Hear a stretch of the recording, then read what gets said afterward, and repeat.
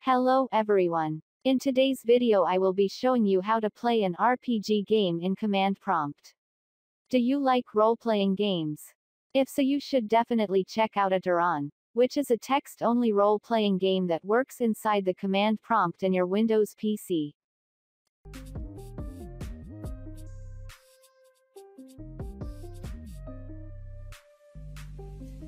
Click on the Start menu to open the search box.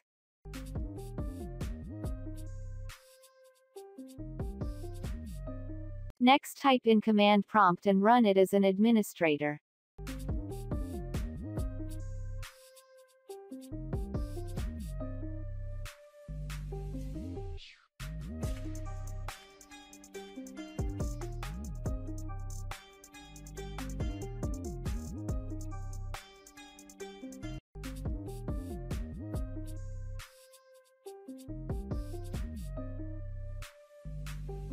Type the command telnet 4002 into CMD and press enter.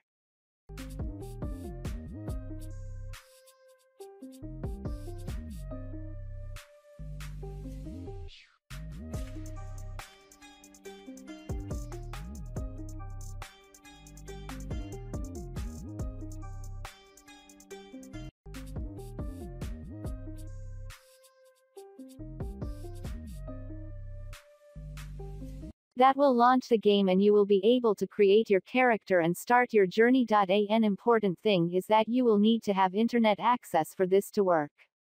That's it for today. Thanks for watching.